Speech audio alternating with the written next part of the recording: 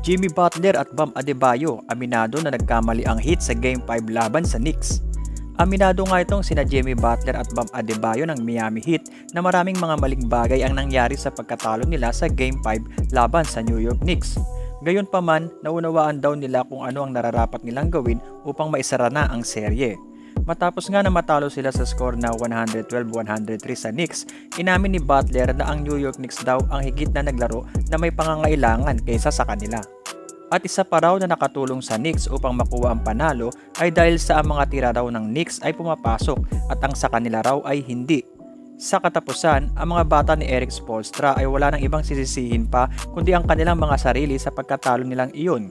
Binigyan din din ni Butler na kailangan na nilang pumilos ng madalian at ilipat na ang kanilang focus sa Game 6. May pagkakataon na silang isara ang serye sa kanilang tahanan, kaya ang gusto niya na ang kanilang koponan ay mag-focus na sa kanilang layunin. Pabalik daw sila sa kanilang tahanan at kailangan daw nilang protektahan iyon ang sabi ni Butler. Sa kabilang banda, ibinahagi naman ni Adebayo ang kanyang naging obserbasyon kung papaano na ang Knicks ay nagsamantala sa mga loose balls. Dahil na rin sa kagustuhan ng Knicks na manalo, gaya nga ng sinabi ni Butler, ang Knicks ay talaga namang kinuha ang lahat ng pagkakataon na sila ay maka-score.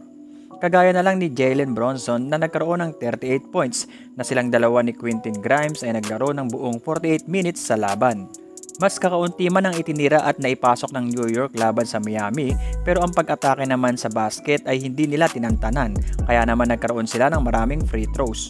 Ang Knicks ay nagkaroon ng 29 of 40 sa free throw habang ang Heat naman ay nagkaroon lamang ng 16 of 19 mula doon.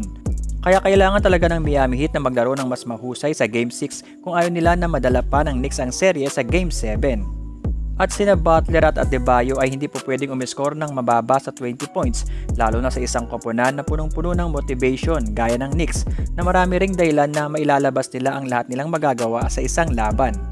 Ang Game 6 sa pagitan ng Heat at ng Knicks ay magaganap sa darating na Sabado, May 13, 7.30 ng umaga, Pinas time. Para sa inyo, maprotektahan nga kaya ng Heat ang kanilang tahanan gaya ng sinabi ni Butler o madala pa ng Knicks ang serye sa Game 7? Ano sa tingin ninyo ang may mataas na tsansa na mangyari?